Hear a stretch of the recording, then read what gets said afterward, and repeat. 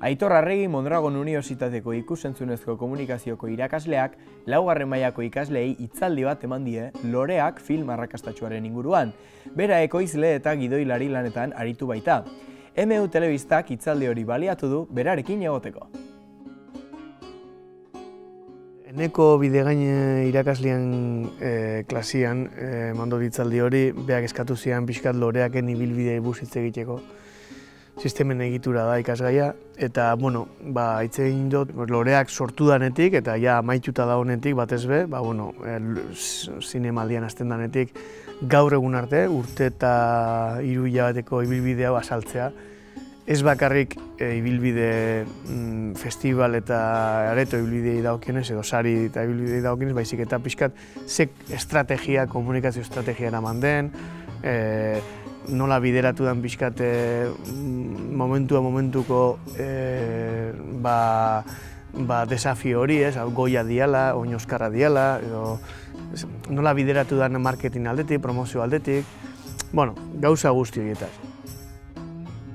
Loreak Oskarretarako bidean dagoela jadanik ez da sorpresa bat, eta pixkanaka Aitor eta berekideak albiste hau digeritzen ari dira.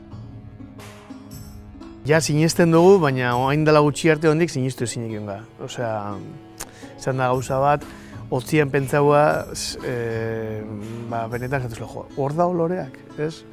Baina gero ikustezu nian, ze egin behar dauzen, eta zenbat email iristen dian, eta ez dakiz zer, eta hau, hau txeko, bai, bai, hor da oloreak, osea, nola e, horri heldu behar diogu, eta burua uste asko dauz, gehitzen dianak eguneroko buru ustei, baina dia izango eke burua uste zoragarrixak. Aitorrek loreaken ibilbidean lau mugarri identifikatzen ditu. Loreakek lau mugarri izan ditu bere ibilbidea estelatu zenetik. Bat donostiko zinemaldia, bueno, ez zuen ezer irabazi donostiko zinemaldia, baina egin esan injartu terten zen. Eta gero, bigarrena izango zen, bigarren mugarri estainaldia, hilabete beran dugu, oso ondo joan zen.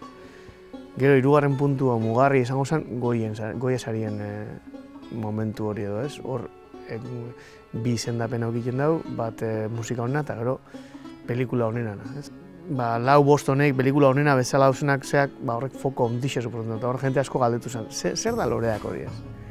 Eta hor, e, pixkanaka bola handitzen joan da, hola handitzen joan da, eta gero hor dator laugarren mugarria edo dala Oskarren kontu da. Horako gure sorpresa ondixe izan zen, baina gero hortik hiru eh, aukeratu izatia ondik sorpresa ondixe izan zen.